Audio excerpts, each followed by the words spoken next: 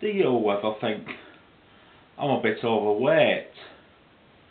Nobody would care about me. I'm not cool at all. Well, that's not true. Everybody's different.